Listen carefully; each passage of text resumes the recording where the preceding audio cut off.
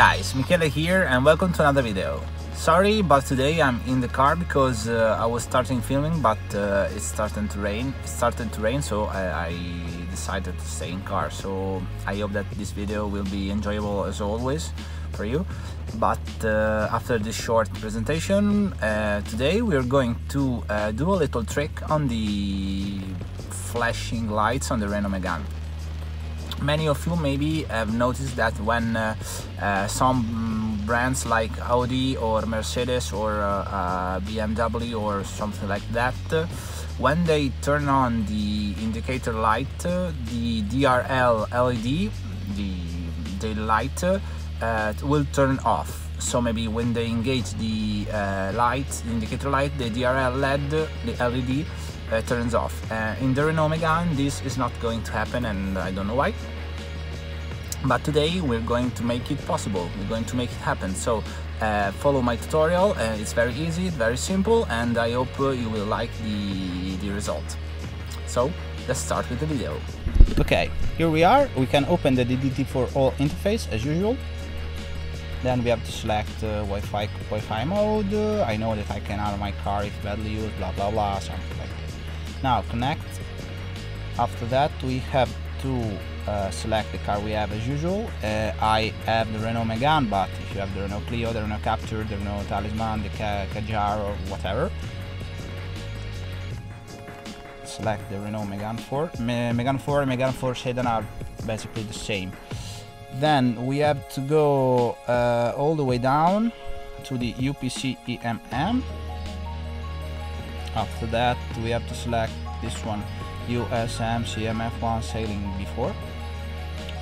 Double click again. Then we have to find the uh, where is it where is it where is it? Lights. Double click. Lights configuration will take long because uh, as I said many times this is a very tough ECU with a lot of param parameters. So uh, don't worry if your uh, system freezes for a couple of seconds or for three or four seconds no problem because it's still reading a lot of stuff. So no problem. As we said uh, the other time this is the cornering inhibition. If you if you missed the video please go please check it uh, here. I, I leave you in the description and up here the, the link. And uh, now what we need to do? Is this. EBDRL inhibit by flasher. So it means that um, as usual we uh, we have to think uh, in uh, uh binary mode so one it means yes zero means no.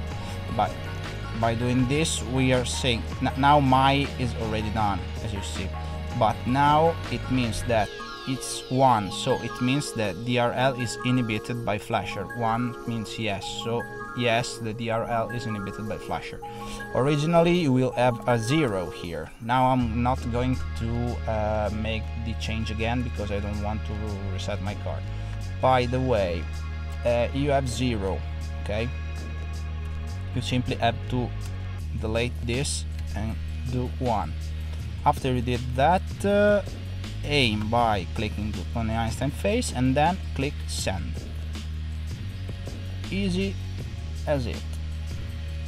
Once you've done that, uh, as I suggest, as as I as I always said, I suggest you to uh, to lock the car and uh, unlock it a couple of or maybe three or four minutes later because you give time to the ECUs to uh, shut down and to start once again. So uh, there are no uh, soft reset of the screen or the R-Link system to do this time but uh, I suggest you to lock the car and wait uh, 3 or 4 minutes before unlocking it once again.